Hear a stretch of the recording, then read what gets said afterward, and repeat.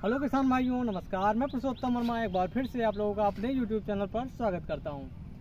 तो किसान भाइयों, सबसे पहले आप लोग बताइए कि आप लोग कैसे हैं, क्योंकि बहुत दिनों बाद आप लोगों से बात हो रही है। जैसा कि मैंने आप लोगों से पिछले वीडियो में बताया था, जो कि लगभग दो तीन महीने पहले बना था।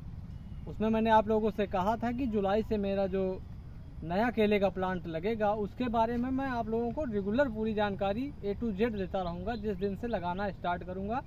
उस दिन से आखिरी तक। तो दोस्तों, आज मैं आ गया हूँ केले की नर्सरी को। तो जहाँ पर केले का पौधा तैयार किया जाता है। तो कैसे पौधा तैयार किया जाता है, थोड़ा सा आप लोगों को उसके बारे में दिखाते हैं। और जो मैं पौधा लेने वाला हूँ, वो पौधा आप लोगों को दिखाऊँगा कि कौन सा मैं पौधा लेकर अपने घर जा रहा हूँ। और जिन लोगों को पौधा लेना है, वो मुझसे बात कर सकते हैं, उनको भी मैं पौधा दिलवा सकता हूँ यहाँ से। तो चलिए आप लोगों को सबसे पहले पौधा दिखाते हैं, जो पौधा मैं लेने वाला हूँ। दोस्तों, आप लोग देख सकते हैं, ये पौधा मैं लेकर जाऊँगा अपने घर। तो जैसा कि आप लोगों को एक पौधा दिखाता हूँ, ये देखिए दोस्तों, कुछ इस तरीके का पौधा निकलता है। देखिए, काफ़ी सारी जड़ें हैं इसमें, कोकोपिट में तैयार किया हुआ पौधा है ये।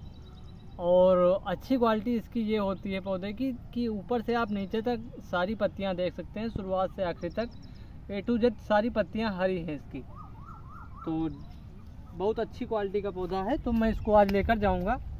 तो आप लोगों को थोड़ा बता दूँ कि यहाँ पर पौधा कैसे तैयार किया जाता है। यहाँ पर जो पौधा आता है, नेटपॉट में एक बड़ी सी ट्रे होती है, लगभग सौ खांचा के ऊपर उसमें खांचे होते हैं। एकदम छोटा छोटा पौधा होता है, जो लैब से निकलने के बाद नेटपॉट में तैयार किया जाता है। वो ये लोग ला करके इस तरीके का कुछ नेट लगा के उसमें तैयार करते हैं।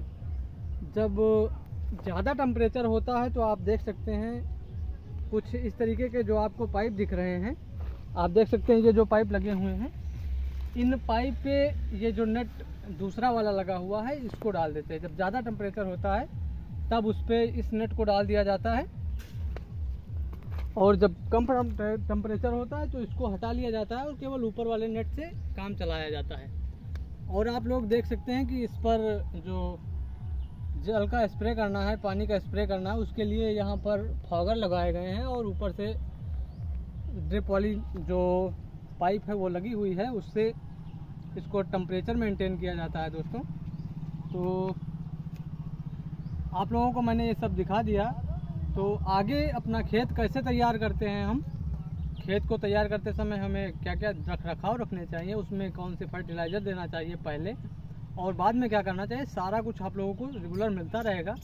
तो जो लोग अब की बार केला की खेती नए से करना चाहते हैं, शुरुआत से अंत तक अच्छे से करना चाहते हैं, वो मेरे चैनल को सब्सक्राइब कर लें और बेल आइकन दबा लें ताकि उन लोगों को सारे वीडियो ए टू जेड मिलते रहें। आप लोगों को सारी जानकारी सीधे खेत से मिलेगी और एकदम सही जानकारी मिलेगी। उसमें कोई, जो अनुभव है मेरा, वही मैं आप लोगों को बताता रहूँगा। तो मिलते हैं अगले वीडियो में नई जानकारी के साथ। तब तक के लिए नमस्कार।